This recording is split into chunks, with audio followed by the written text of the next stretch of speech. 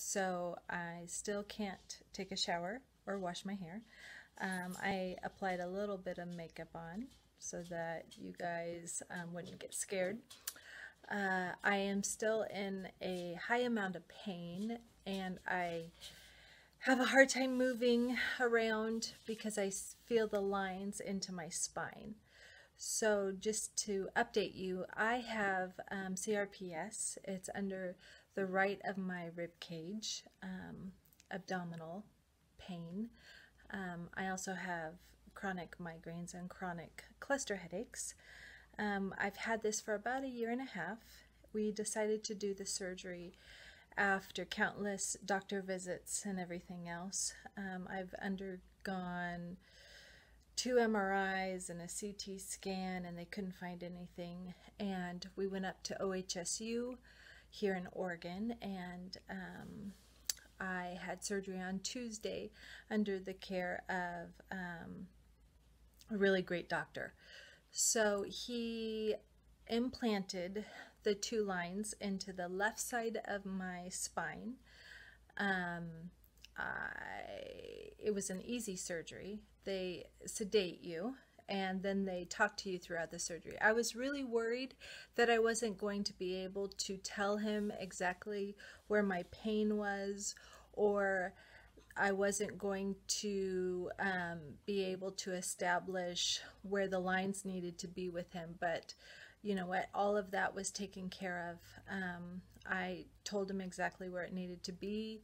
Um, he thought he was going to have to put three lines into my spine, and he only put two. Um, and I don't remember a thing. So everything came out really, really well. I now, after the surgery, I was in extreme pain. um, there's nothing like uh, pokes into your back. Um, so, one of the things I would really advise is to make yourself a foam cushion for your back if you're going to the surgery. So what I did is I went to Joann's Fabrics and I got just this foam and then on our way out of the hospital, my husband ripped a hole in it and then he put this down on the car seat. And I can put my spine where the leads go and stuff right into that hole and that makes a world of difference. It takes all the pressure off of my back. And especially for us because I also, um, we stayed up in Portland for another day and then I had to drive five hours home. So it saved me pretty much. Um, I leaned my chair all the way back and just rode home totally like that. Um, they don't give you a lot of pain medicine, which is funny because we've been in pain this whole entire time. So you will um, realize that, whoa, this is a lot of pain that I'm in. At least it was my experience. I was in a lot more pain than I thought I was going to be in. Um, so just keep that in mind and start tracking how much pain medicine you need and then stay on top of it as you go. It's not a visceral type of pain like ner with nerve pain. It's kind of visceral on top of your skin. This is more of a um, like you just broke your arm and anytime you move a certain direction it just kind of hurts um, and like you have two things poking into your spine. That's how I kind of feel right now.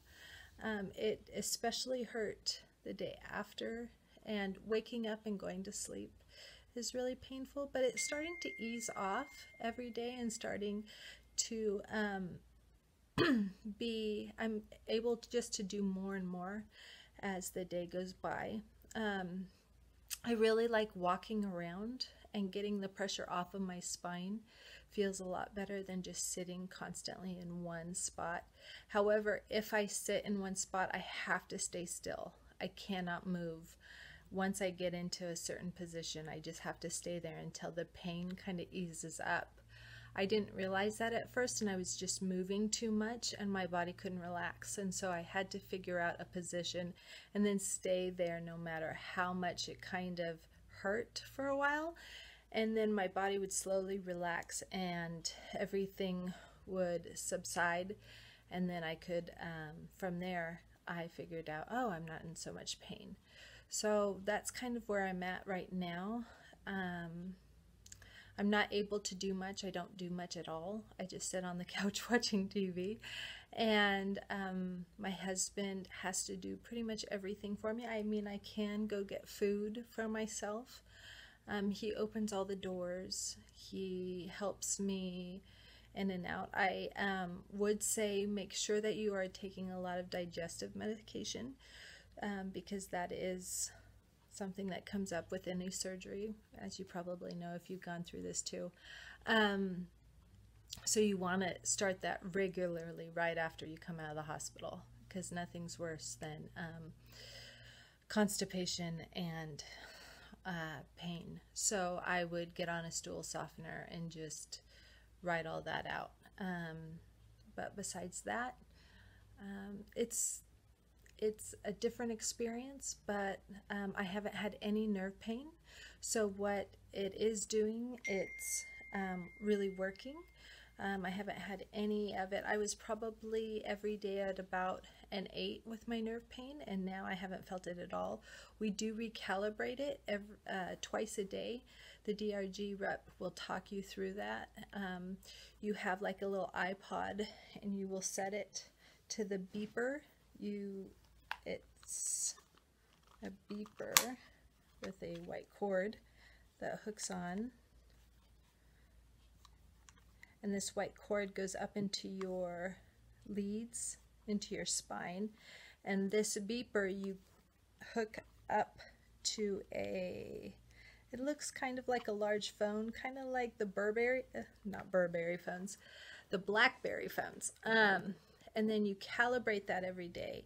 You bring it up until you can feel the pulses where your nerve pain is, and then you will click it down a couple of times. But he'll go over that with you um, when you get the surgery and when you get out of the hospital.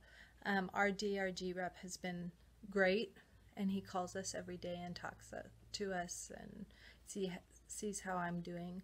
We go back up next Tuesday, and so I'll try to keep this diary going just so that you'll have an idea of what to expect. So.